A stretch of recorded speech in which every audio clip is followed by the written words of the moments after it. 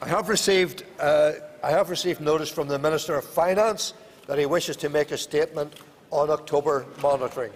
Minister.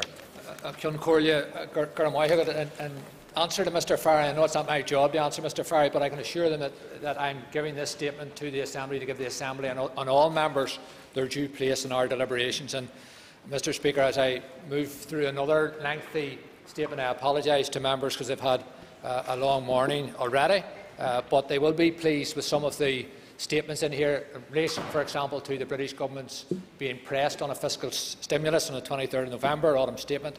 Uh, also, uh, a shot in the arm for our local economy through a small stimulus package here today, and some good news on financial transactions capital, which will not be returning to, to the Treasury. So, Mr Speaker, to turn to the, the statement, uh, ceann comhairle buail an buíthe a ggóil leat as an seo thuirtú an ráite seo hí bhhaid a manatarachta dhearú fór, agus bhí facus de sprágcha an éimenas an céad céim chuirhí bhráid an tional aniu. Seo an dara beid a manatarachta a mléana a hagans na sála ar mar ráites a lei beid a manatarachta an bheith. A cean cuairle solidorm ar bhhaid a manatarachta dhearú fór, bólam an deisio a hapú ústatú begahort in a bhil ar na caiintin a bhí agam na coppla lá nuas na príomhrúna an stadcéiste Harry na Bratnia Bigga. Mr Speaker, I want to thank you for affording me this opportunity to present this statement to the Assembly today on the October monitoring round and the Executive's first step stimulus package. Uh, this is the second monitoring round of, of, this year and follows on from my statement on the June monitoring round. Uh, Mr Speaker, before turning to the October monitoring round, I would also like to take this opportunity to briefly update members on discussions I have had over recent days with the Chief Secretary to the Treasury, David Gauke, and the Scottish and Welsh Finance Ministers, Derek Mackay and Mark Drakeford. Uh, yesterday, uh, I, along with my Scottish and Welsh colleagues, met with David Gauke, uh, Chief Secretary to the Treasury. Uh, during that meeting in London, we discussed a number of important issues, including the outworking of the EU referendum decision. All three administrations expressed concern at the impact on their economies and the need for the British Government to provide clarity on the way forward. Uh, we also discussed a number of specific finance issues, and I will touch on these uh, shortly. Um, before turning to the detail of this round, I would like to preempt questions that I expect will follow from members in relation to the monitoring round process adopted by the Executive. Uh, the approach now adopted by the Executive to the monitoring round process no longer requires the submissions of bids by departments. Uh, the submission of a wish list of bids uh, did not give a good indication of real pressures and it led to a slow and cumbersome negotiation, as members from all parties know. Instead, key pressures are now identified through ongoing engagements uh, between my officials and departments. Uh, the new process allows the Executive to focus on and react quickly to the key emerging pressures. Uh, the new approach is consistent with the position adopted in Scotland, Wales and in the south of Ireland, where parliamentary scrutiny takes place through the estimates process and focuses upon in-year changes to budgets with no references at all to bids. In keeping with the practice in those jurisdictions, the Executive does not disclose its deliberations in reaching an agreed monitoring round outcome. The focus of scrutiny is and should be on the outcomes. The swift conclusion of the June monitoring round and the fact that I am stood before you today providing details of the October monitoring round demonstrates the efficiency of the new approach. Before getting into the detail of the monitoring round, uh, I, I, do wish to, and it is important to highlight the fact that significant constraints are facing our resource DEL position in the current year. In that context, aside from meeting a small number of prior commitments, the focus in this monitoring round has been on the capital DEL position and measures that will deliver an economic stimulus to our economy. Mr Speaker, the starting point for this monitoring round is the outcome of the June monitoring round, which concluded with an overcommitment of 13.5 million on a source DEL and 11.4 million on capital DEL overcommitment. I would like now to turn to the specifics of the October monitoring round, starting with a number of adjustments relating to centrally held items. Updates to forecasts of regional rate income, interest payments and borrowing and statutory salaries has resulted in a small easement of £0.2 million that can be made available to the Executive in this monitoring round. Uh, members uh, may recall in the 2013-14 January monitoring round, as part of an agreement to provide £35 million of ring-fence financial transactions funding to Ulster University for its Greater Belfast development. The University agreed to return £7 million to the Executive from its accumulated reserves. Uh, 3.5 million was returned in 14-15, a further £3.5 million to be returned in 16-17. The Executive has now received the £3.5 million from UU relating to this year, and this has been made available for reallocation in this round. In 15-16, receipts from the carrier bag levy exceeded allocations to environmental programmes by £0.5 million. Uh, as receipts from the levy must be used to support environmental programmes, the Executive therefore returned this £0.5 million to DAERA for this purpose in the June monitoring round. However, updated numbers have now been received, and the Executive must now return a further £0.3 million to DAERA for the carrier bag levy. This has been taken into account in this monitoring round. Mr Speaker, Budget 16-17 set aside £15 million capital DEL for allocation under the Delivering Social Change programme. The Executive Office has now advised that 7.1 million of this funding will not be required in this year and can be made available for reallocation by the Executive in this monitoring round. Uh, members will also be aware, Mr Speaker, of pressures facing the Executive's budget relating to the Renewable Heat Incentive Scheme. I will say more on this later. However, the Executive has set aside £20 million resource DEL in this year uh, to meet pressures arising from the RHI scheme, and this must be taken into account in assessing the level of resources available to the Executive. In total, Mr Speaker, taking into account the opening overcommitment and other central issues noted above, resulted in an overcommitment of 30.1 million on resource DEL and 4.3 million on capital DEL before taking account of departmental reduced requirements. Departments uh, declared reduced requirements in this monitoring round of 11.6 million resource DEL and 16.2 million capital DEL. Full details are provided in the tables provided with this statement. On the resource side, the most significant reduced requirements declared in this round include £8 million from the Department of Communities relating to employment services programmes and welfare support measures. Uh, my own department has also surrendered £3.2 million, Finance Department, relating to development costs of devolving corporation tax.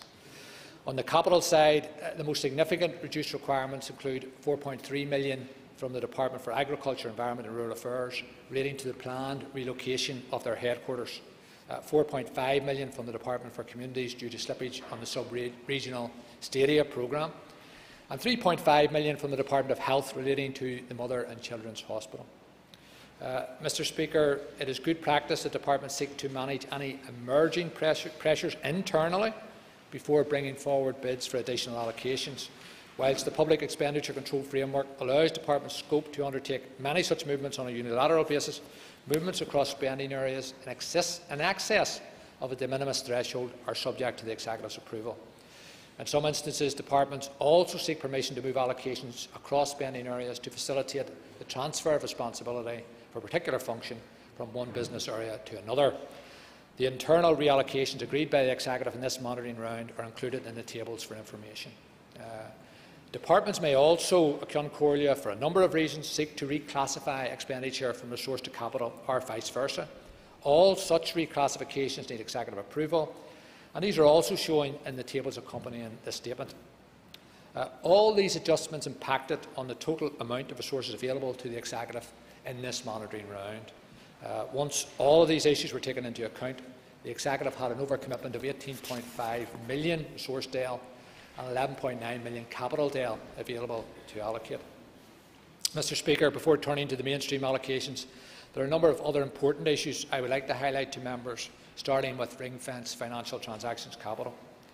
Uh, the Executive conclude, concluded the June monitoring round with 7.2 million of ring-fence financial transactions capital unallocated, and, as detailed in the tables accompanying this statement, departments have declared reduced requirements totalling 4.5 million in this monitoring round.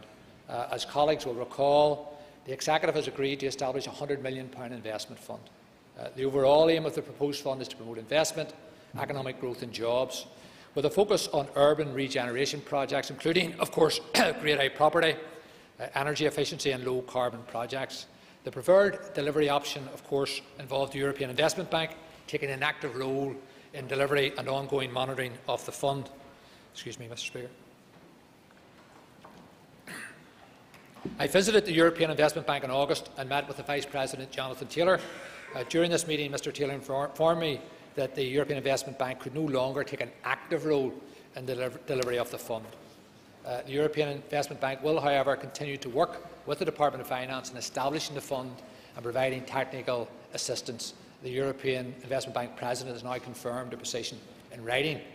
Uh, my officials are currently reassessing possible delivery models. I remain committed to the £100 million investment fund, and I will update the Assembly on the, on the outcome of this work in due course. However, it's now clear the fund will not be in place before the 31st of March 2017, and the 55.8 million of financial transactions capital set aside for the fund in 1617 is now available to the Executive for alternative use.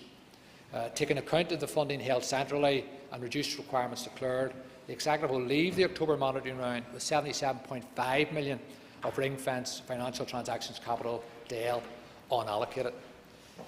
The Scottish and Welsh governments have also expressed concern over the use of financial transactions capital as recently as yesterday in London.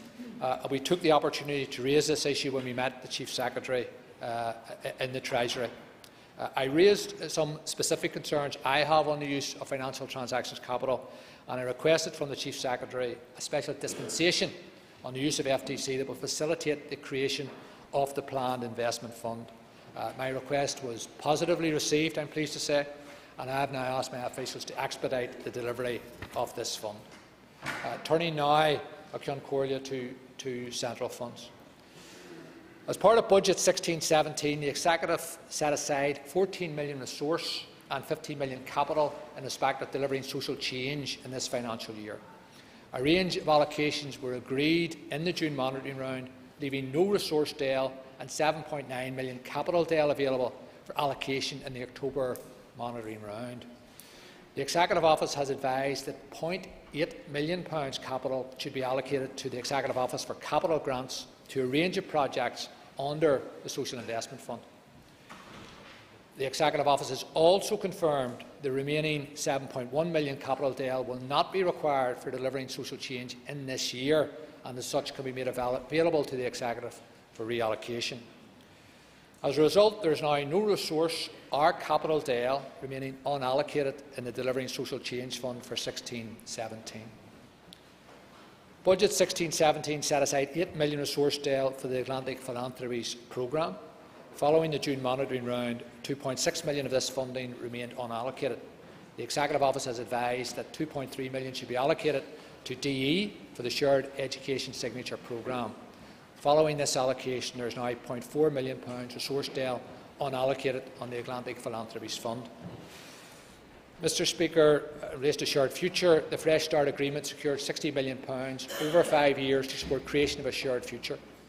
The Executive's Budget 1617 set aside £12 million resource DEL in this year, and allocations totalling £11.5 million were processed in the June monitoring round. The Executive Office has advised that a small number of allocations should be processed in this monitoring round. These include 0.3 million to TEO for Shared Future in Urban Villages and 0.2 million to the Department of Communities for arts and cultural uh, programmes. My officials will, will engage with Treasury in securing access to this funding through the Westminster supplementary estimates. Following these adjustments, uh, all the funding available for a shared future is now allocated.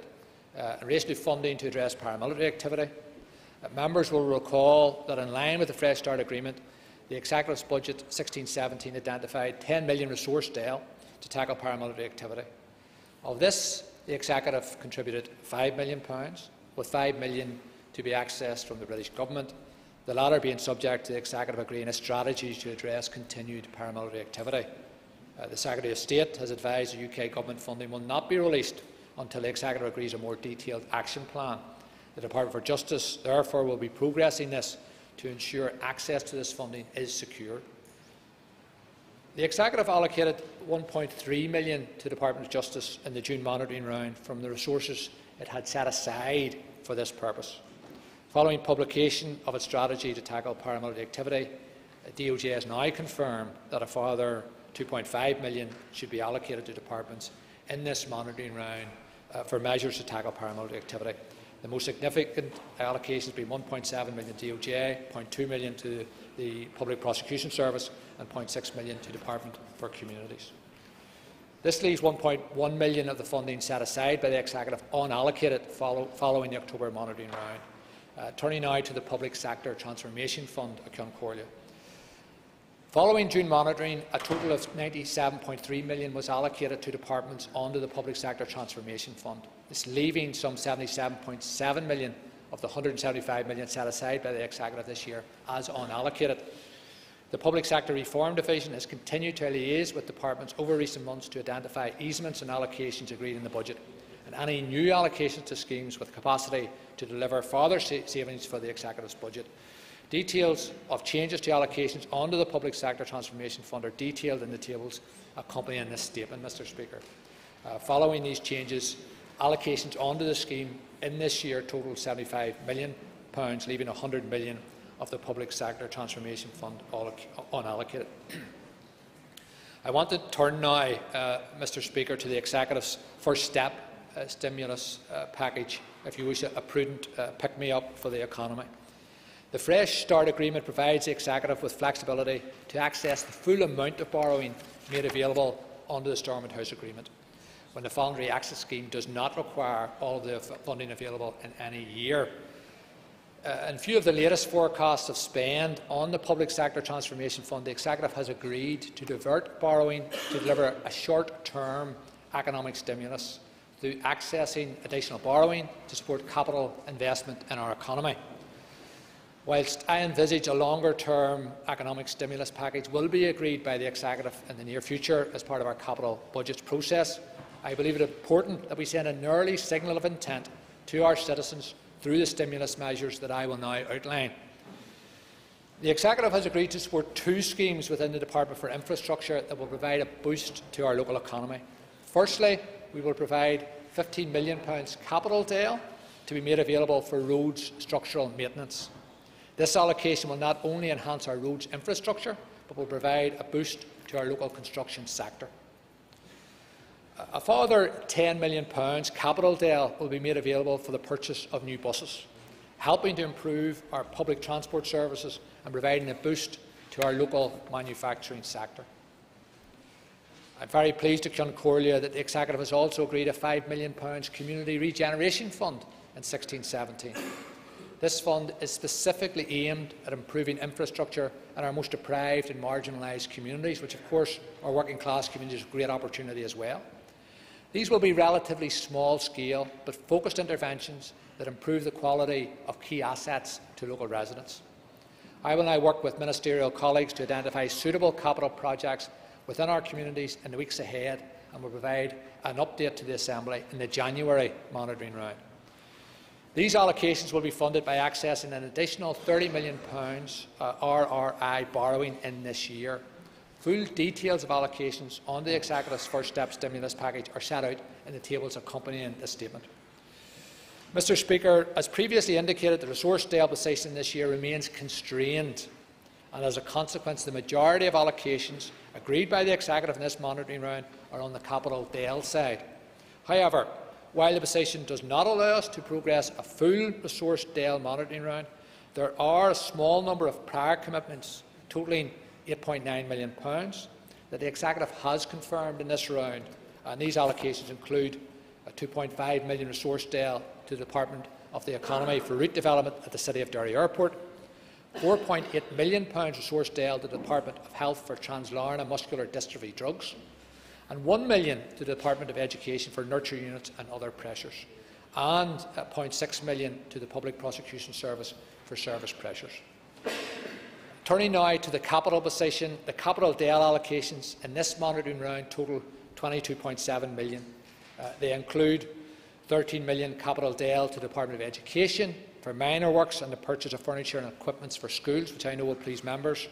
8.7 million capital DEL to the Department of Health for essential maintenance and the purchase of ambulance defibrillators, which has also been a demand by many members. And there will be 1 million capital DEL to the Department for Infrastructure for investment in LED street lighting, which is an Invest to Save initiative.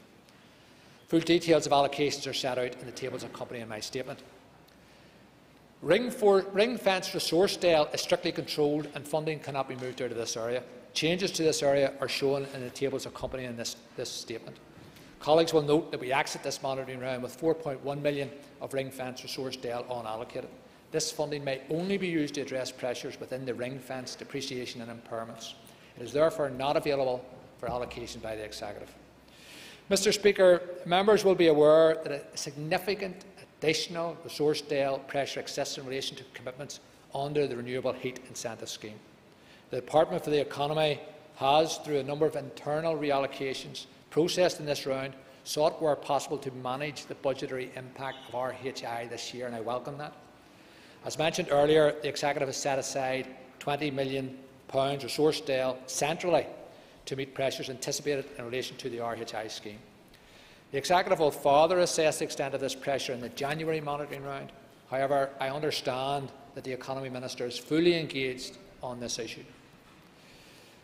To turn to the October monitoring outcome, as a result of the allocations detailed above and funding set aside for RHI, the Executive exit this monitoring round with a 27.4 million overcommitment in respect of resource DEL and 10.8 million on capital DEL.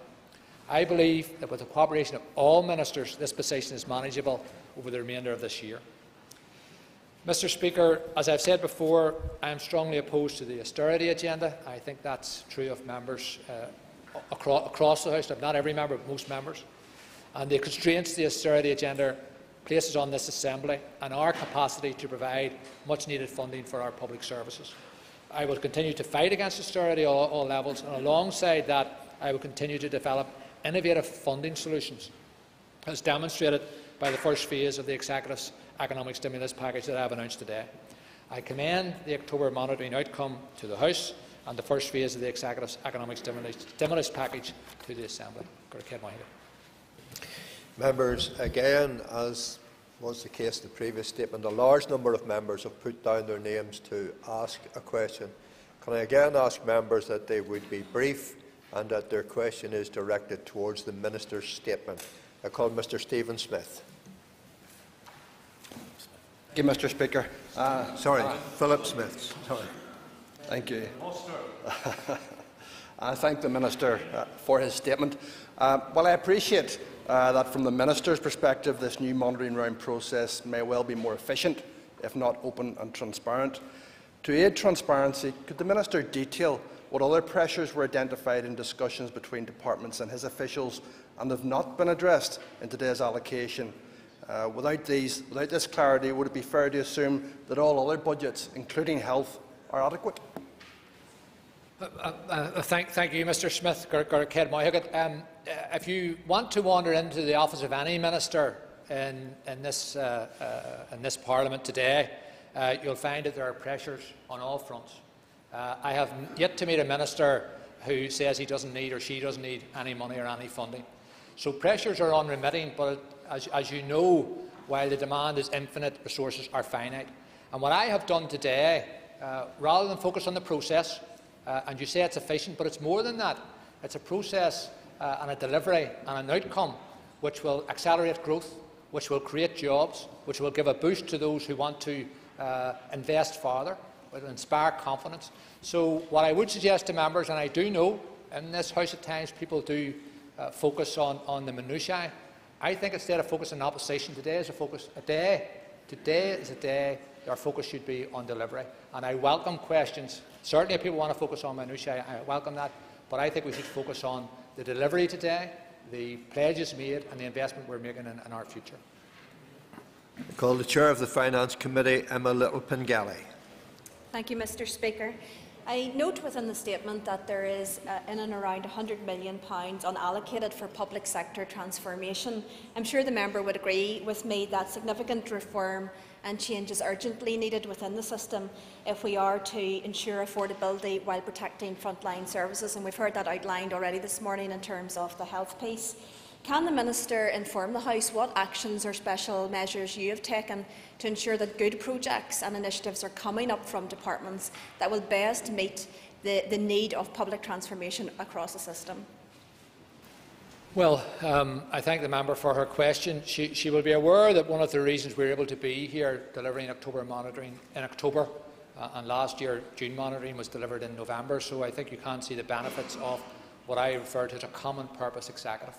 And across the executive, we met this morning again, uh, ministers are resolved to bring forward proposals which will uh, provide greater efficiencies and better services, in particular schemes which involve investing, investing to save. Uh, and in that regard, we have reduced the number of departments that serve our people. It doesn't make sense to have repetition uh, across uh, former departments or former structures.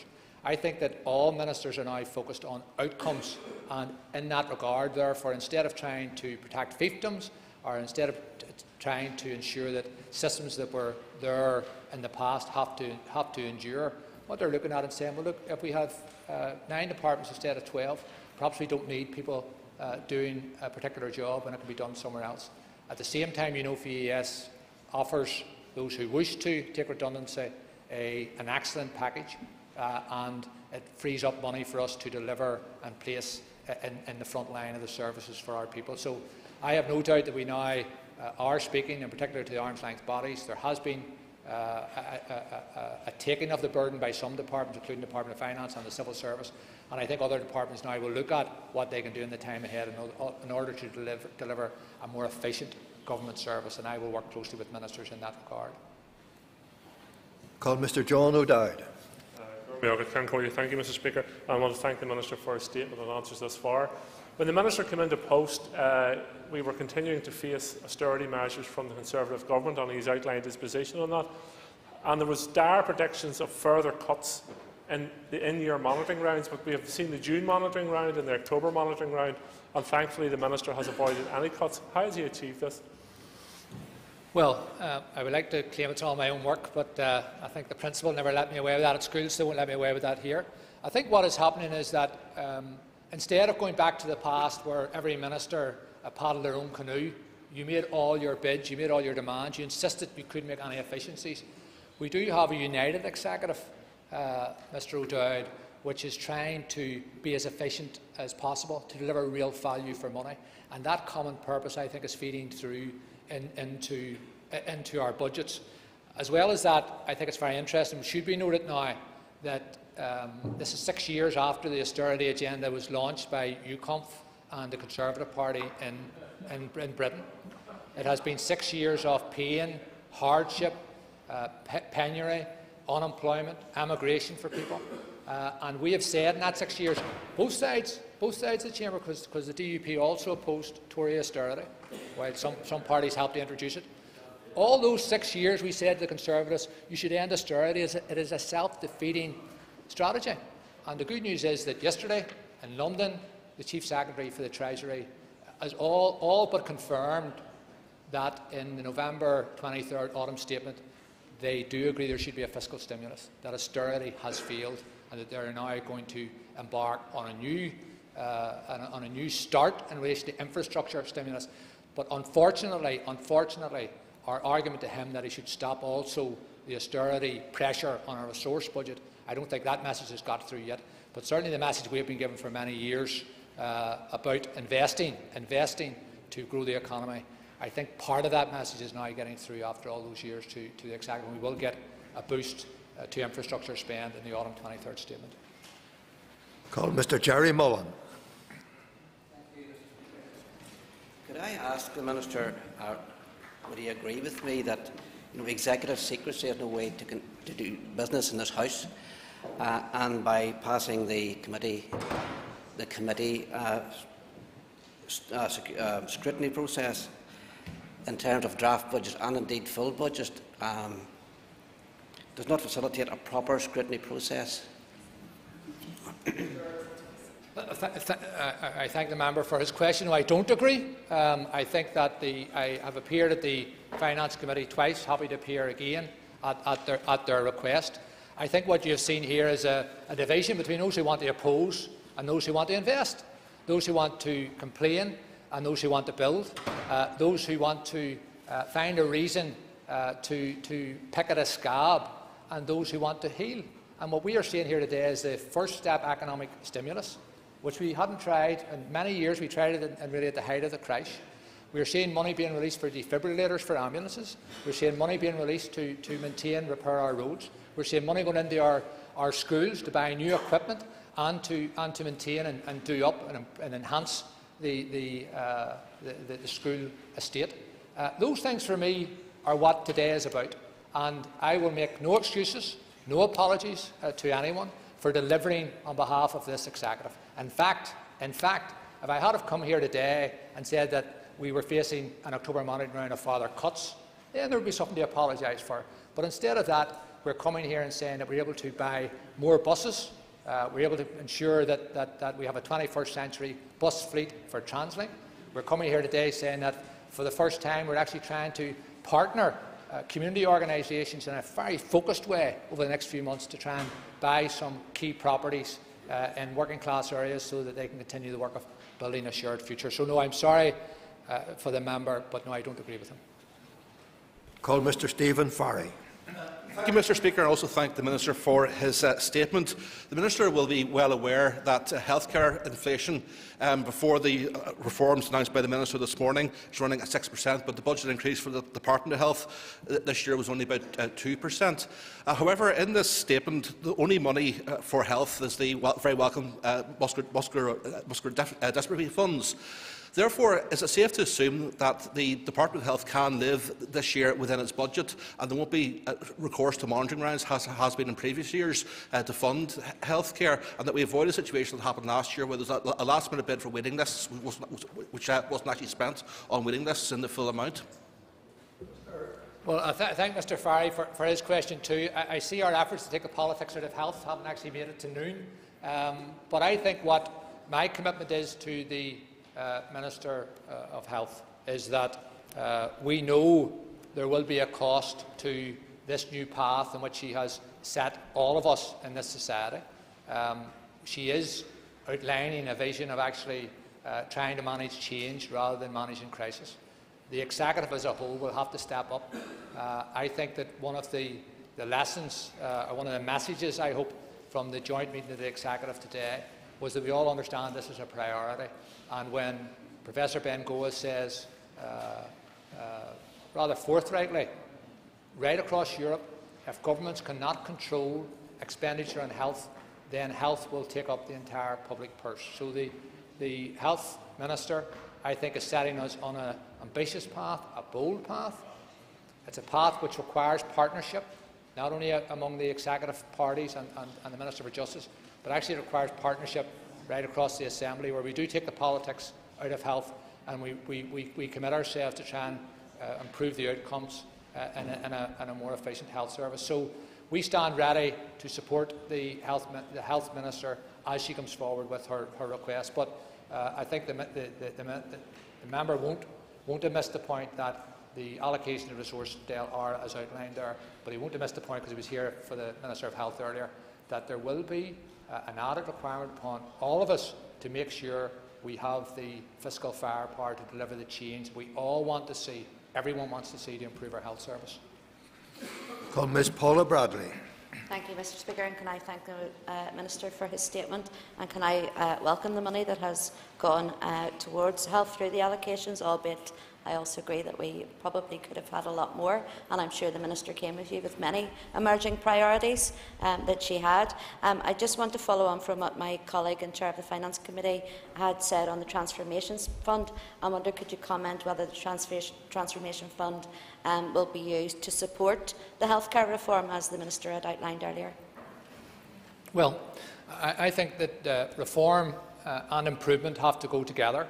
Uh, we are set now on a path uh, of, of uh, uh, improving and changing and transforming our health service uh, in a way never seen before. I heard the Minister referring to this, this two-mandate challenge, and there will be a role within that for the Public Sector uh, Transformation Fund.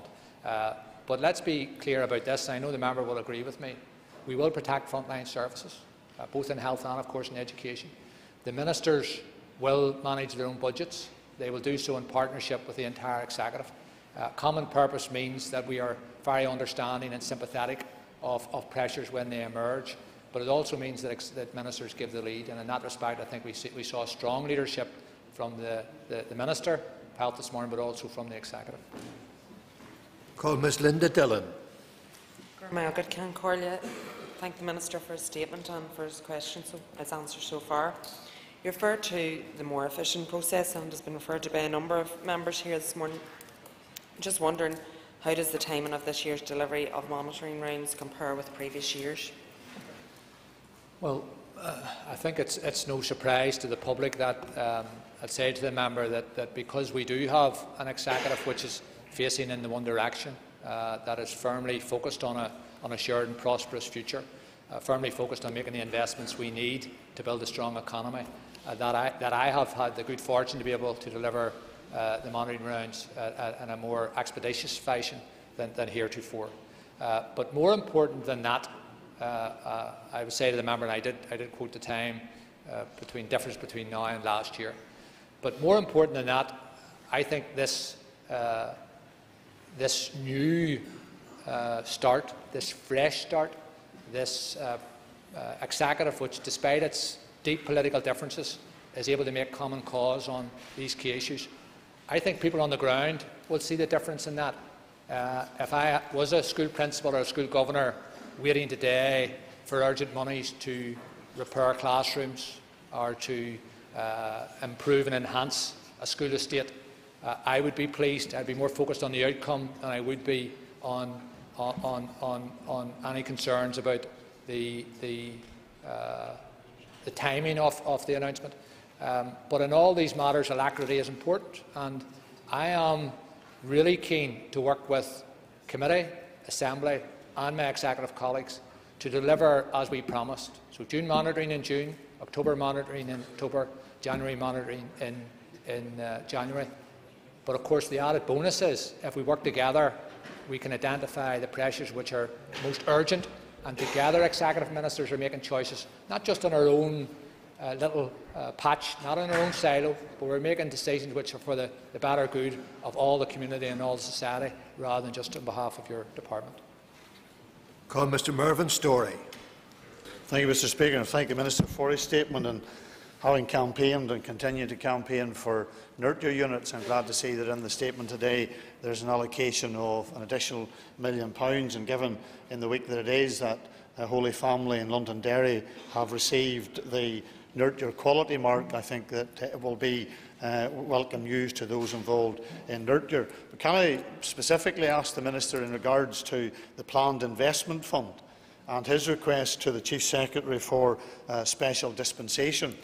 Will he give consideration to widening the urban focus of the planned investment fund uh, so that uh, it will go beyond the two cities of Belfast and Londonderry and so that areas in my North Antrim constituency such as Ballymena, Ballymoney and Ballycastle could possibly benefit.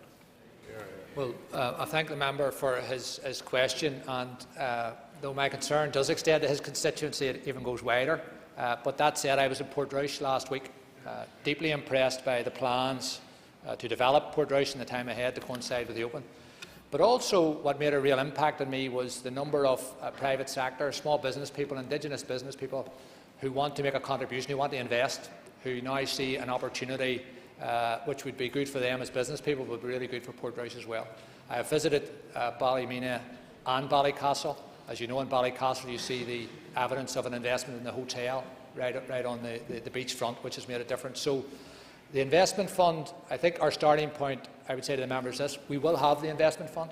We, we, we did, of course, uh, have uh, difficulty with the European Investment Bank. We didn't expect. But I think the response to that isn't to, to abandon ship. The response to that is to try and find an innovative, novel way that we can have this investment fund. And I, and I agree absolutely. We need to have TLC not only in the, in the two large cities within the jurisdiction, but also those opportunities that exist outside of that. And just the final point I'll say is that perhaps still the most impressive uh, initiative I visited since appointment was the Southwest College in Enniskillen. And I know that they are uh, hoping to get a, a, new college, new college premises. But there are opportunities like that. I, I, hope that won't depend on the investment fund, but there are opportunities like that right across the, the region, and I hope we can seize them, not just in Belfast and Derry. Call Mr Mike Nesbitt. Mr Speaker, thank you very much. The, earlier the Minister encouraged us to move away from the fine detail and focus on delivery. So, so let's do that, but also include non-delivery. like the 5 million the UK government is, is not delivering uh, to address paramilitary activity because the executive doesn't have a proper plan. So, a, as an either-or question, is the minister embarrassed that the executive has to submit its homework to London for marking, occasionally getting an F for failure, uh, or is it actually UCUNF's fault? Well, um, I thank the member for his question. I'm very happy for you to focus on minutiae. Very happy indeed. Um, and in fact, I know that is an area of expertise for the opposition. But I'm focusing on delivery. Uh, I made it clear to the Chief Secretary of the Treasury yesterday that, that we, would, we would ensure that we deliver stable, sustainable budgets, that we will work in partnership with them around Fresh Start funding, uh, but that the people who will make the decisions ultimately will be our, our ministers. I'm very confident the Minister for Justice will be able to, in negotiation with our, with our colleagues in Treasury, deliver an action plan as they, as they desire. But the overarching point for me is this. Uh, we have taken decisions today which are to the benefit of community. We have taken decisions which will accelerate economic growth. We have taken decisions which will create jobs. Uh, we have taken decisions which will make a real difference in the heart of areas like East Belfast or Tigers Bay or the Creggan or Ballymurphy. And it doesn't surprise me that because the member is focused on opposition, for opposition's sake, that he can see nothing worthy about that, he can see nothing to laud in that, and instead he wishes to give succour uh, to the British government, uh, to, who have created perhaps the greatest economic mess of our time the greatest economic mess of our time. I know the member would like to interrupt, but I'm going to push on. I know he's very fond and the British government is very close to him, and the Tory austerity programme is something that he was involved with in its, in its, in its, in its architecture at the very start in 2010. But we're going to focus on making a step change in delivery for our people. You have my uh, full blessing to focus on minutiae if you so wish, and I'm happy to go there with you as necessary. You have my full blessing to support the uh, NIO or the Treasury and what they're doing. But what I would say to members is this, regardless of taking the politics out of health, let's take the politics out of creating a better future for our people. Let's, let's applaud what deserves to be applauded. Let's criticise where criticism is necessary. But to approach this, this first step economic stimulus this morning, to give no welcome at all to our efforts to, to grow jobs, to create a better future, uh, for me, says everything that needs to be said about the failed austerity politics of the, uh, of the British government, which, of course, were brought into being in the company of our, our friends in the Ulster Unionist Party and that, and that gloriously named UCUNF. Ms Caoimhe Archibald. Um, I welcome the Minister's statement and uh, the first phase of the economic stimulus package.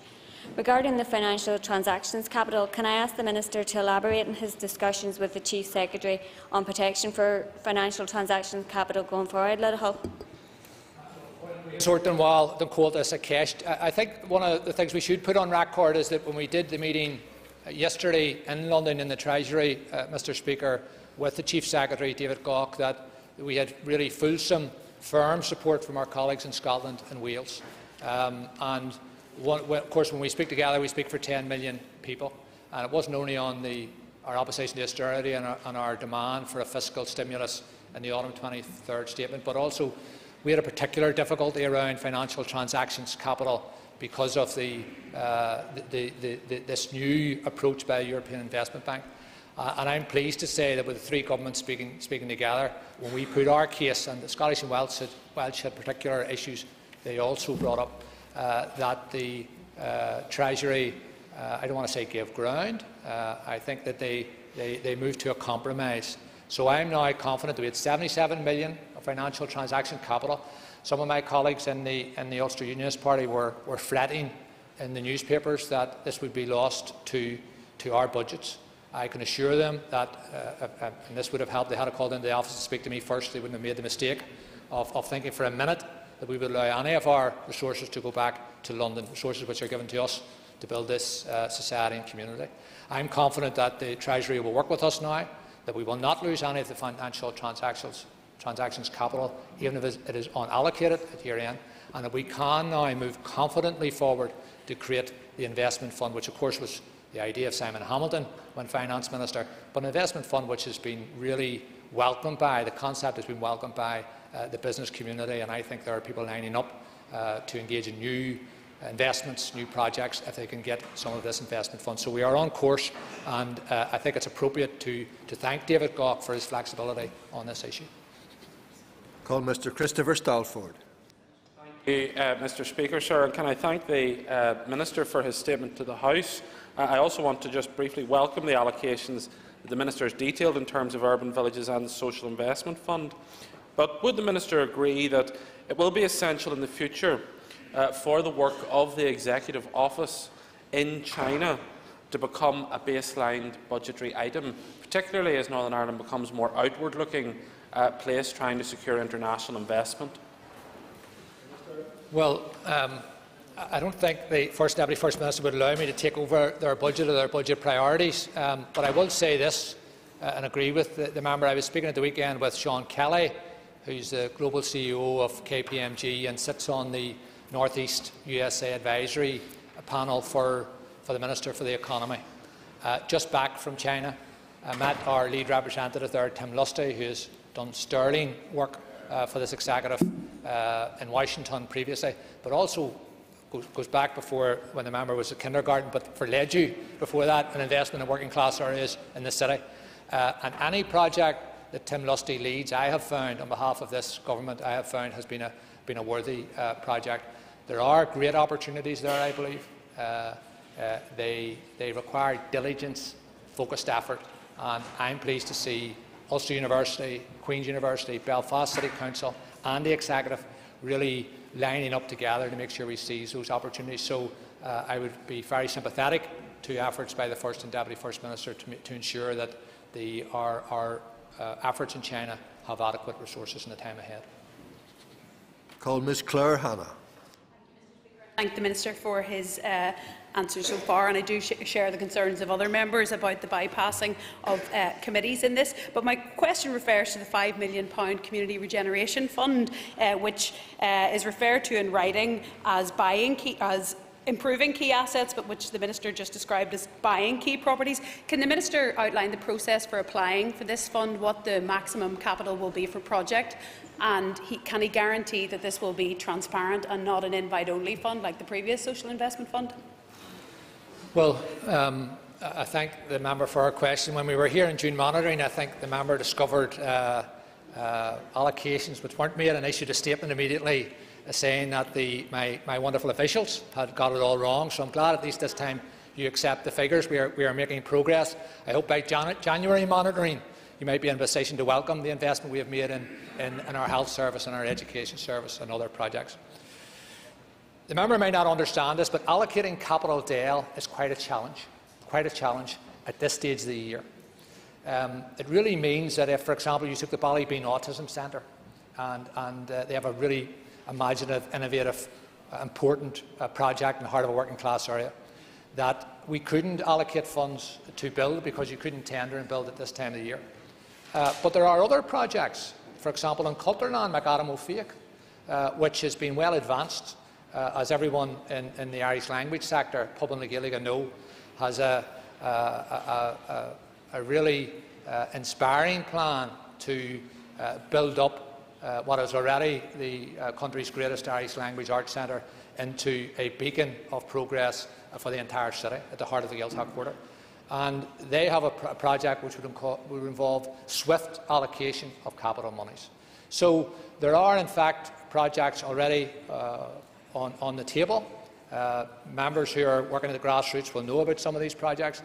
But what I would certainly say to the member is this, and she and I uh, share concerns over the speed of delivery.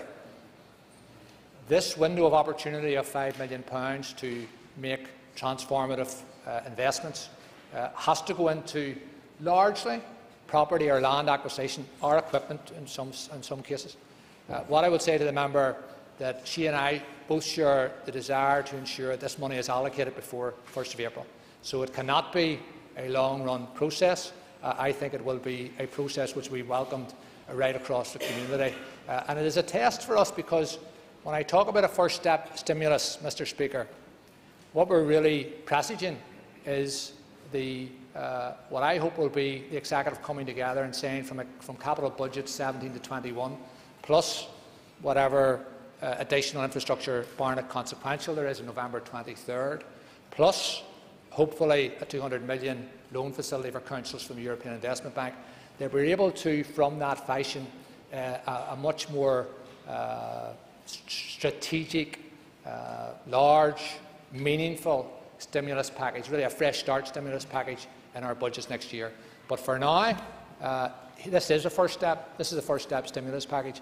And, and for me, it was important we didn't do a first step stimulus package without putting the communities which haven't received enough of the peace dividend. And I represent South Belfast. Parts of South Belfast have done well, some parts not as well. And for me, this first step stimulus package would have been incomplete if we didn't have a commitment to those communities who have great opportunity and who are really thirsting for a, a, a brighter future.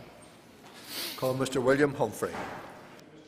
Can I welcome the £5 million Community Regeneration Fund? Uh, it's not enough, but it is a good start, and I, I welcome the announcement. I also welcome the £50 million for road structural maintenance. I think that's vitally important. But the Minister, Minister will recognise the importance of Belfast as a tourism and transportation uh, hub for Northern Ireland. It is the economic driver for Northern Ireland. So, despite the politicking of last week, will the Minister agree with me that the York Street interchange is vitally important to Northern Ireland going forward particularly in terms of industry and commerce. It connects three motorways, it connects the George Best City Airport with the west, and it connects the Port of Belfast. Would the Minister agree with me that the York Street interchange remains a key priority for the Northern Ireland Executive? Yeah. Well, I, I thank the member for his comments. I noted he waited till Mervyn Storey left before turning the focus back on to Belfast. Um, but I do agree with him that uh, York Street interchange is a key project for this executive. And, and, uh, and I'll go farther. I believe that, that together we will deliver the York Street interchange. But I made this point yesterday to uh, David Gauke. Um, if I was to build a new home and I had the money to build 60% of it, it wouldn't be prudent to move uh, ahead and build 60% and hope you get the other 40%. And in terms of, of the commitment by the British government, and the member will understand, we did move them. At first there was no guarantee over EU funding, then they moved to a certain degree, and now they've moved until an exit if it happens. Uh, but what I said to David Gauke yesterday is, look, go, go, the, go the extra mile, commit to funding, even though it comes a month after you exit, uh, that you would still commit to cover that. Uh, and there's a gap there yet that really we will start, I think, focusing on with the British government in the time ahead. We do need them. As you know, as the member knows, the commitment was made that there would be no, no funding lost, no projects lost. And I hope in the, in the, in the days and months ahead that we get that commitment uh, and that will enable us to really press ahead with, with all types of projects which, which, could, which could have funding streams coming, coming and letters of offer issued after uh, March 2019. But he and I are agreed on the importance of, of York Street, and, and I hope, I hope we'll see it, we'll see it delivered uh, by, by, our, by our government. Call Mr Declan McAleer. Good, uh, last Concordia. And uh, as the um, infrastructure spokesperson for our party, I very much welcome the announcement of 15 million additional for road structural maintenance. And coming on the back of the 10 million rural, rural roads initiative, this is very, very welcome good news. Minister, what I want to ask you, yesterday you joined with your Scottish and your Welsh counterparts in calling for a shift from austerity to stimulus. How confident are you that this message will be heard? And indeed, what can the Executive here do uh, to insist or to uh, inject uh, much needed economic stimulus. Graham Well, um, I would love to say that David Gauke and, and Theresa May uh, were taking my advice, but I'm just going to quote from the FT because the FT uh, said about stimulus um, and, and, has been saying this for some time, not only because borrowing levels are at, uh, uh rates are at historic lows, but the, the, Financial Times said stimulus policies cannot reverse long-term effects um, in relation to, to the uncertainty following the EU referendum but it can lessen uncertainty and, and mitigate shock. And I think that's true of, uh, of a, a, a, stimulus package at this time. But they also said that a stimulus package can accelerate economic growth and improve opportunities. And there has been a, a Damascene uh, conversion by the British government on this issue because members will know we asked for additional investment uh, over, over, over many years now in the, in the height of the, the drive uh, this lunatic drive towards austerity, ideological austerity, and uh, we didn't receive a hearing. Uh, now I think the, uh, because of um, whatever about our Im Im import and our influence, because of the, the voices of other uh, influential bodies, including newspapers like the Financial Times, including uh, economic commentators like Robert, Robert Reich, that the British government is paying heed and realises, realises it needs to invest uh, in its infrastructure, and we will get a Barnett consequential from that, and then we will put our own shoulder to the wheel to create a, I hope, with the agreement of executive, to create a, a greater stimulus package. Call Mr David Ford. Thank you very much, Mr Speaker. Um, since I never had any connection with UCUNF, but I did have a small part in setting up the three-person panel on paramilitarism, hopefully the Minister will be able to give me a straight answer.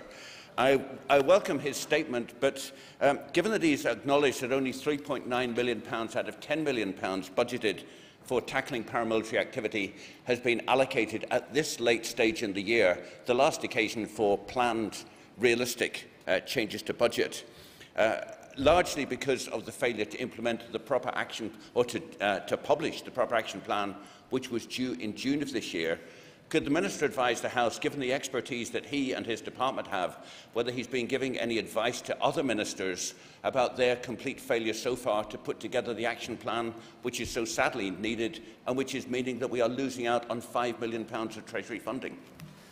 Well, uh, I thank the member for his question. The last time I saw the member, he was on stage at uh, the Belfast Community Gospel Choir singing "Oh Happy Day." I thought you perhaps would give us a few verses of "Oh Happy Day" today in response to this first step economic uh, stimulus. Uh, what I would say is that uh, when Claire Sugden was appointed, she said, "Who will I turn to for advice?" And I said, "David Ford, of course." And here you are today, giving her advice. Um, and I don't know if it's tinged with envy or not. I'm not going to suggest it's tinged with envy, uh, but I'm confident that the, all the ministers, but in particular the, the Justice Minister, will deliver on, on her pr promises and pledges in relation to all the budgets she's been allocated, and that that money will be spent and none of it, none of it will be lost. And it will do the work that he worked towards, uh, the work of, of, uniting our community and tackling paramilitarism.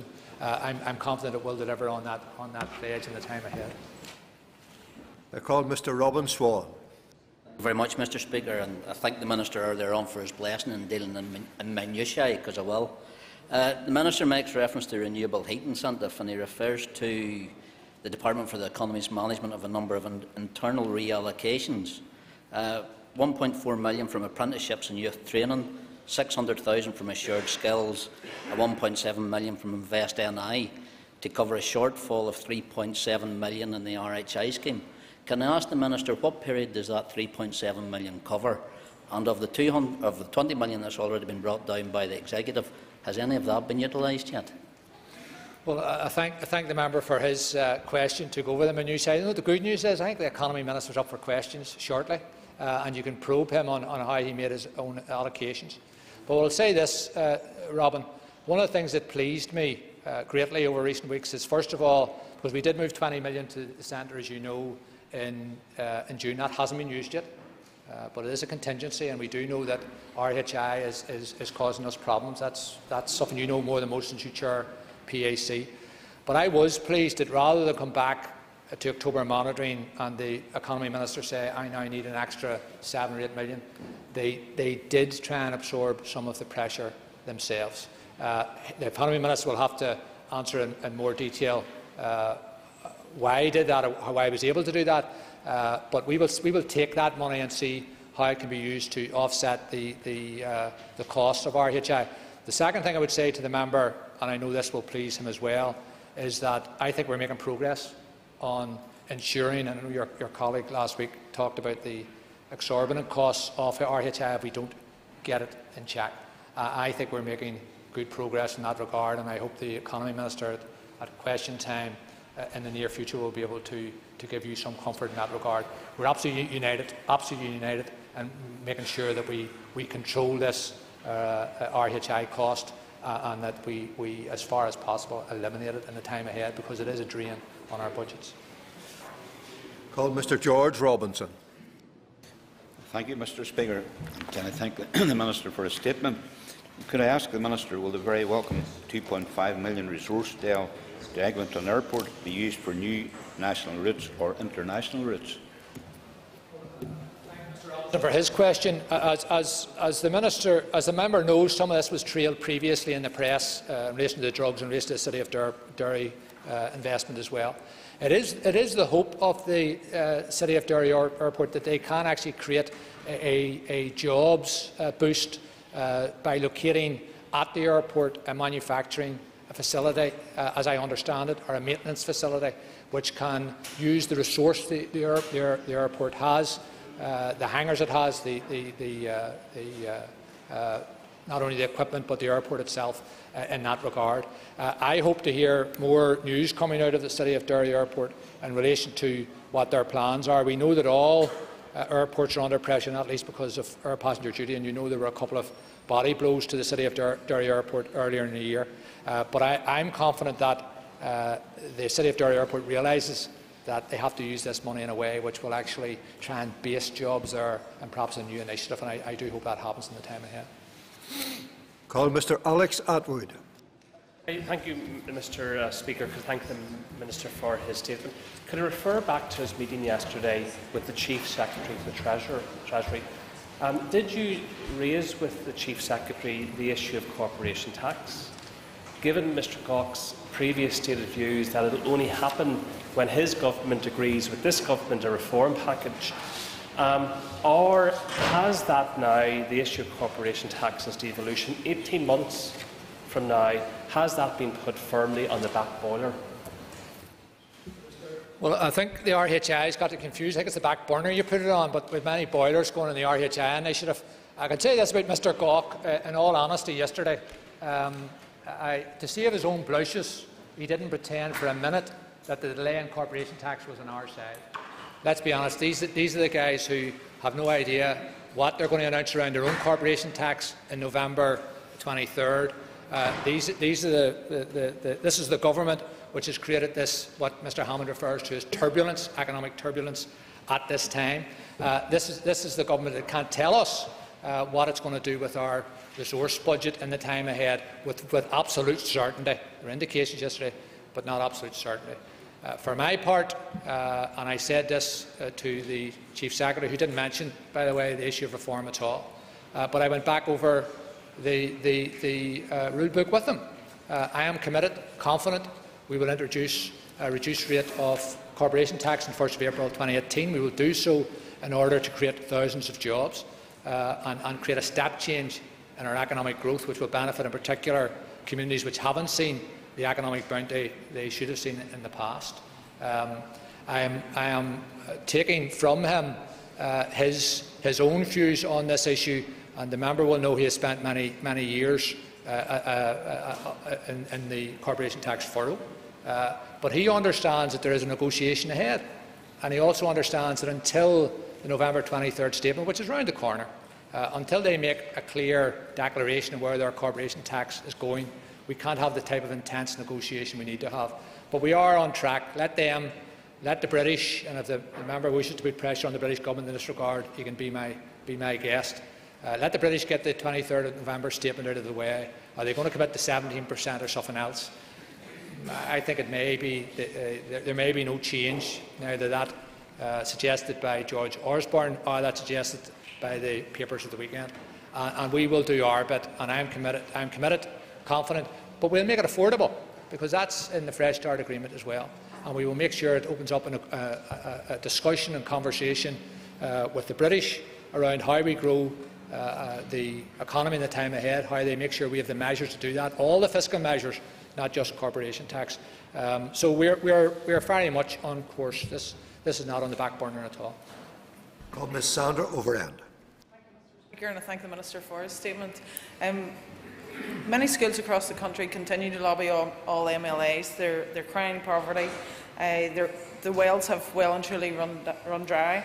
And many redundancies are made and the delivery of the entitlement framework is under threat. While I, while I welcome the 13 million capital uh, budget uh, given to the Department of Education for minor works and the purchase of furniture and equipment for schools, I'm disappointed that there's not a resource uh, budget allocated to the Department for Education. Can I ask the Finance Minister if he has had any discussions with the Education Minister with uh, the way schools can spend money allocated to them um, so that they have more control and can achieve better value for money, and if not, will he commit to doing so? Sorry, Minister, but I must interrupt you for a short, sharp and concise answer to the question, time-wise. Th- Thank the member for her question, and, and I'm happy she puts that question to Peter Weir in the time ahead, and, and I welcome the fact you're welcoming the extra injection of capital funds into schools. The business